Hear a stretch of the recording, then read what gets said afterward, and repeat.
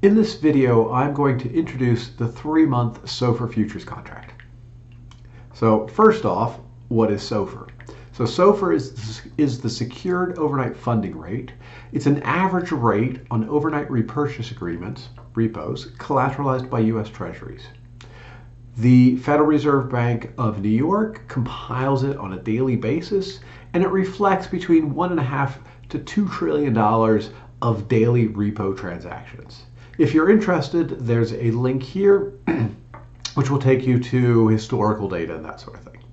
Now, the futures contract is not on SOFR itself. SOFR is an overnight rate. The futures contract is on a three month rate, and so that's a three month compounded rate. So, compounded SOFR is a three month rate and it's compounded on business days. The Federal Reserve helps us out again by publishing an index which reflects the value of compounded SOFR since April 2018. So to back out a rate from the index that's published by the Fed, we take the index at the end divided by the index at the start. So that's kind of how much has a dollar grown from the start to the end, minus one times 360 over days. So that's kind of an annualized actual over 360 rate backed out from the index. If you look at this formula for a second, you will notice it's very similar to how if you knew discount factors, for example, how you would back out an actual over 360 rate from those discount factors. Uh, these two indices would be in the opposite order, and it would be discount factor start over discount factor end, but roughly the same formula. Okay, so let's look at the contract spec of this three-month SOFR futures. It is financially settled or cash settled. The underlying is the business day compounded SOFR per annum during the contract reference quarter. We'll talk about what that is in a second. The quote is 100 minus the rate. The tick size is 0.0025 index points, and that's worth $6.25.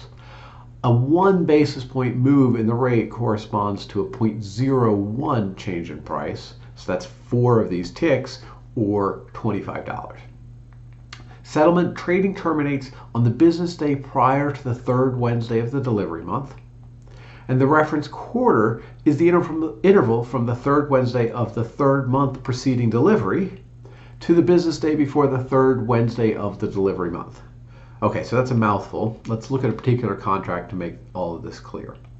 So, the March 2024 SOFR futures contract has a compounding period that runs from the 20th of March 2024 to the 18th of June 2024. So that's 90 days.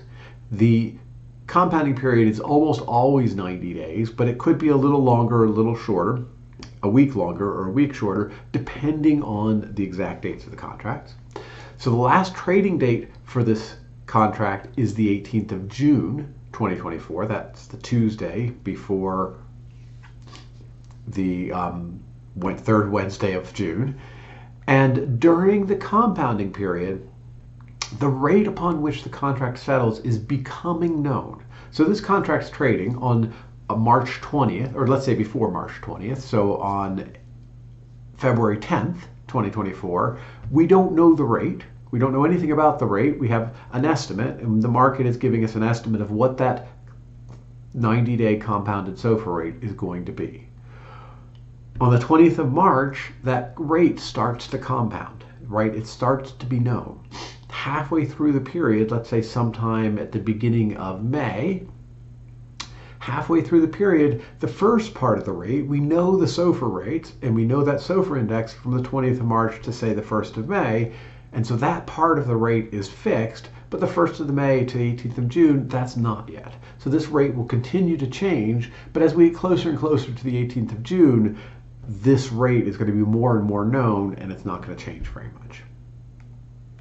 Okay, so the futures quote is 100 minus the rate.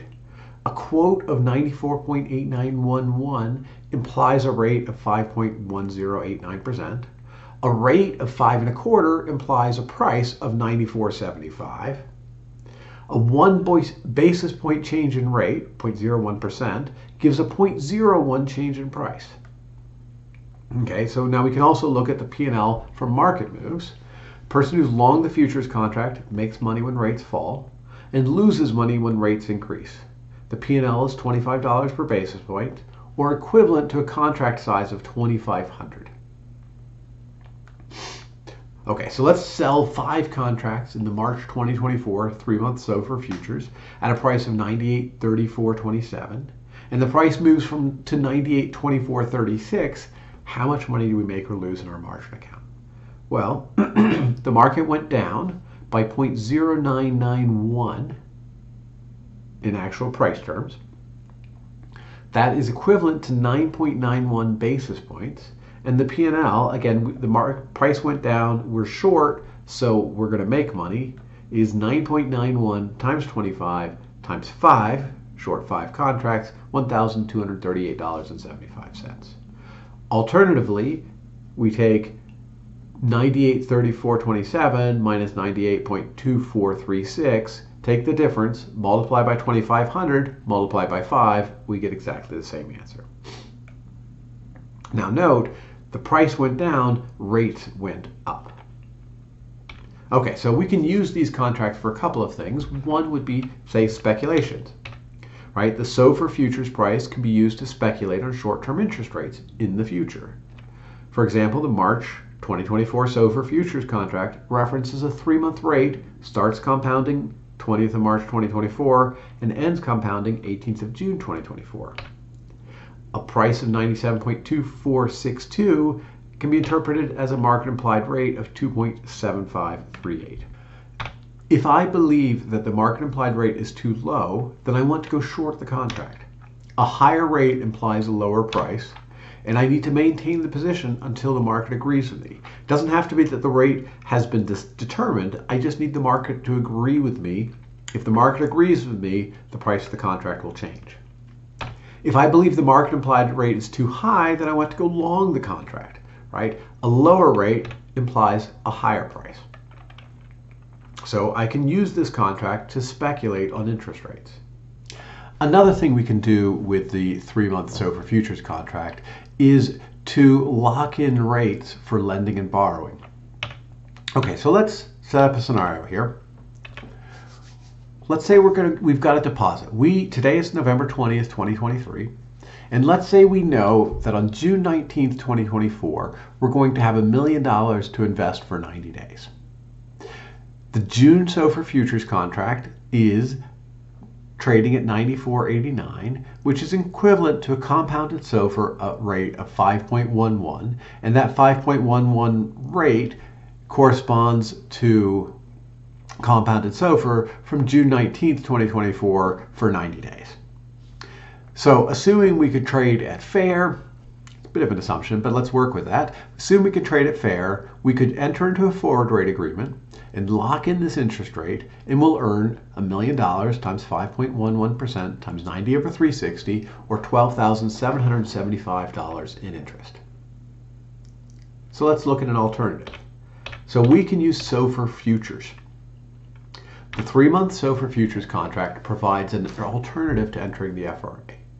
The June SOFR futures contract price, as we said, is at 94.89, which is equivalent to a SOFR rate of 5.11.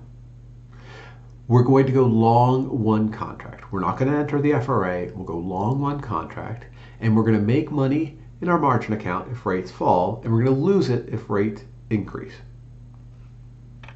Okay, so let's do a scenario. Imagine on June 19th, when the futures contract is about to start its compounding period, that the price of the contract is 94.39. This is equivalent to a SOFR rate of 5.61%.